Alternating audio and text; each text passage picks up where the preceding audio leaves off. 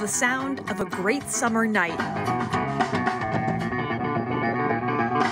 This is the Summertime at the Farm concert series, a day of good times, good friends, and good music, right on the grounds of Suncadia's historic Nelson Farm.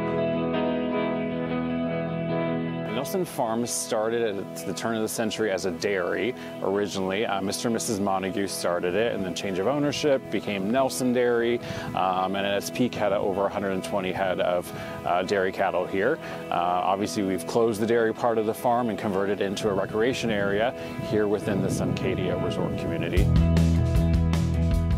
Though a lot of time has passed, you can still see for yourself the original 1890s era barn. Some of the original buildings are still here from the turn of the century, and then others that have been added in the same like and style uh, later on in the 70s as well. It still sits proudly on the property, and just below that, before the concert kicks off, try your hand at axe throwing. Or if lobbing pointy objects isn't your forte, consider cornhole.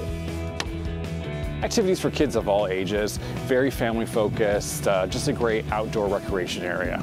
Every Summertime at the Farm event kicks off at 4 p.m. with cold drinks, local artists. We have vendors with activities as well as goods and wares from local purveyors. And fun for every member of the family. The best part? It's completely complimentary. Anyone can join in the fun. You don't have to be a guest at Suncadia. A different band performs at each event. Tonight, it was Scott Pemberton O Theory, a purveyor of West Coast grungy funk. At 6 p.m., the band takes the stage. And what feels like a perfect summer evening ends in song.